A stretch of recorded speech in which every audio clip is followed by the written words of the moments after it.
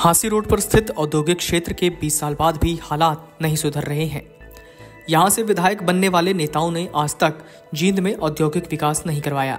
इस छोटे से औद्योगिक क्षेत्र में सड़कें, पीने के पानी तथा सीवरेज की समस्या जस की तस बनी हुई है। खुद एडीसी व डीसी भी यहाँ का दौरा कर चुके हैं, लेकिन हालात नहीं सुधरे हैं। रात के समय इस औद्योगिक क्षेत्र में अंधेरा छाया रहता है। इस पूरे मुद्दे पर स्थानीय लोगों ने बात की और अपनी समस्याओं के बारे में बताया। सुनिए लोगों ने क्या कुछ कहा। पिछले पाँच साल से इंडस्ट्रियल एरिया में समस्याओं का अंबार लगा हुआ है।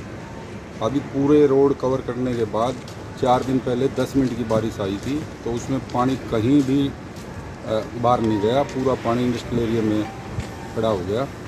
तो ना कोई लेवल लिया गया है फैक्ट्रियों रोडों का, ना लाइट की लाइट पीछे ठेका हुआ था दस दिन लाइट थी। चली उसके बाद लाइटों का बुरा हाल है। मेंटेनेंस जितनी फैक्ट्री की कीमत नहीं है उससे ज़्यादा मेंटेनेंस के बिल बनाए हुए हैं। पिछले पाँच साल से तो लगातार घुटनों तक पानी रहा है। रोड नाम की चीज़ ही नहीं थी कोई काम ही नहीं हुआ इंडस्ट्रियल एरिया में। दो साल कोरोना काल में कोई काम नहीं हुआ। मेंटेनेंस किस बात का?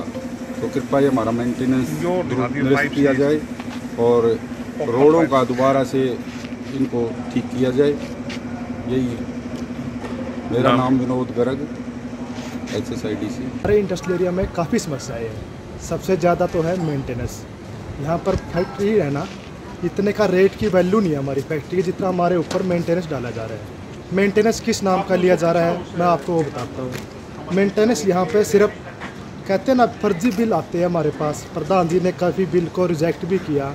या फर्जी बिल बना के उस पर साइन करवा के उसकी पेमेंट सब फैक्ट्री वाले के ऊपर डाला जाता है। बात रही सर, जहाँ भी इंडस्ट्रियल एरिया में चार साल से काम चल रहा है। तो चार साल में जब यहाँ पे काम चल रहा है तो उसका मेंटेनेंस नहीं होना चाहिए हमारे फैक्ट्री के ऊपर। कोरोना काल में भी हमारे ऊपर मेंटेनेंस डाला गया। उसके बावजूद भी हम साइन कर रहे हैं। यहाँ पर 20 इंची 10 इंची जीएसबी 10 इंची डब्ल्यू उसके ऊपर छः इंची के करीब ब्लॉक लग रहे थे। जो अभी लगे हैं इसके बावजूद भी यहाँ सब बैठ गए।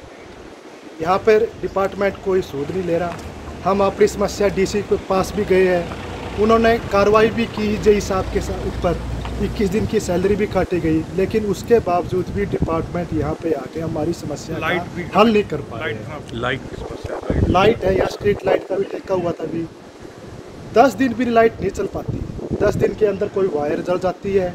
आप यहाँ सामने देखो। बेस नहीं है इसका।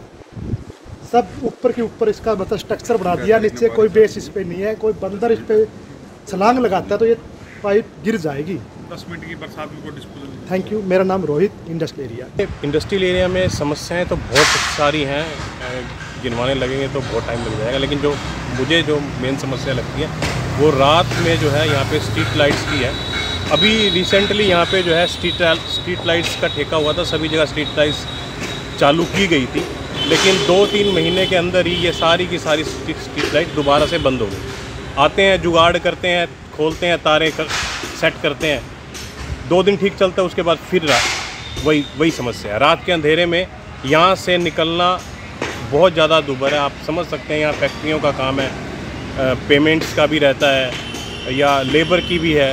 किसी की कोई सब चीज़ें जो है रात के अंधेरे में निकलती तो सबसे ज़्यादा समस्या यहाँ पे खम्बों की मेरा नाम विपिन कुमार है और इंडस्ट्री। हमारे इंडस्ट्रियल एरिए में समस्याओं का घर है। यहाँ पे जितनी भी रोड्स बनाई गई हैं, सब में घटिया सामग्री का प्रयोग किया गया है। सभी रोड्स चलने लायक नहीं है। रोड 20 इंच 20 इंच मटेरियल डलने के बाद भी ये सब ब्रिक्स उबड़ खाबड़ हो गई हैं।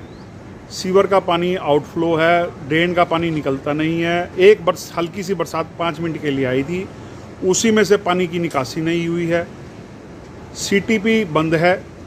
सीटीपी का पानी ग्रीन बेल्ट में पानी डाला जा रहा है। समस्या ही समस्या है। नाम क्या नाम? अब मेरा नाम अभिषेक गोयल प्रधान H S I D C ji. Video desk Amar Ujala dot com. अगर आप ये वीडियो YouTube पर देख रहे हैं तो हमारे चैनल को सब्सक्राइब करें और बेल आइकन को दबाना ना भूलें। अगर आप Facebook पर यह वीडियो देख रहे हैं तो हमारे पेज को लाइक करें।